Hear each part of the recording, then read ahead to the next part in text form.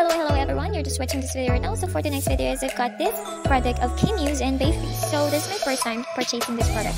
And um, nakita ko lang siya sa TikTok and then some videos in YouTube. And then maraming nagsasabi na ang ganda niyang gamitan dahil waterproof daw siya. Meron nagsasabi. And then oil control daw siya.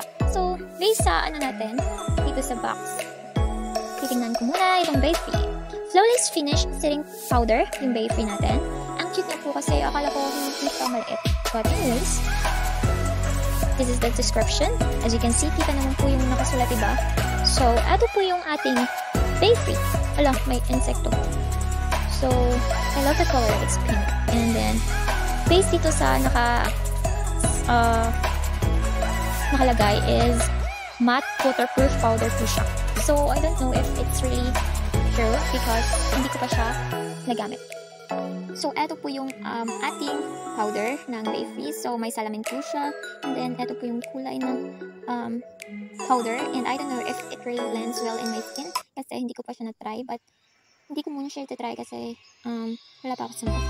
But anyways, um, eto po is freebie po siya ng ating um, Kimuse BB Cream Make Cover. Cover all waterproof matte po siya. And then, it covers your blemishes, dark spots, and eye bags. Sabi nga dito, cover all daw. But I don't know if really covers your dark spots or blemishes. Kasi, based on video is nagpa-cover up po siya ng ating mga sa. So, um, anyways, I got this. Ito po yung um, cover matte baby cream na box niya. Ito po yung description.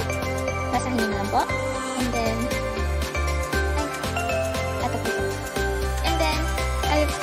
it from the shop of and Bayfree. So guys, um, next one is this Kimuse Copper Contour Bronzer. Dalawa po sila. Duo.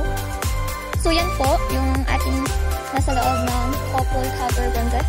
I don't know if it really, um, if it's nice because, like I said, hindi ko kasi nagamit. And then, Halit lang po sila. Yung mga products na Philippines. Kasi nadadala siya kahit saan kayo pumunta.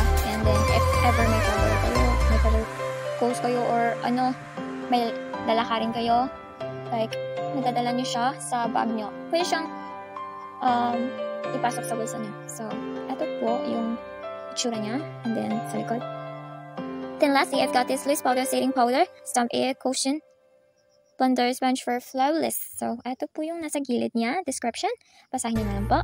And then, ito po, how to use, feature, ingredients. Hindi ko na lang po babasahin each kasi ang taas na po. So, kayo na lang po ang magbasa sa ano natin, product natin. Product talaga, hindi naman sa akin. So, ito po yung ating um, powder na Kimuse. This powder sealing powder with sun. Ang liit niya po. And then, may sticker pa siya.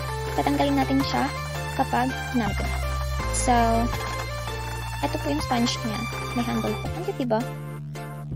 By the way, guys, I will update you if maganda ba siya, itong mga products na to. Kasi hindi ko pa po nagamit ito.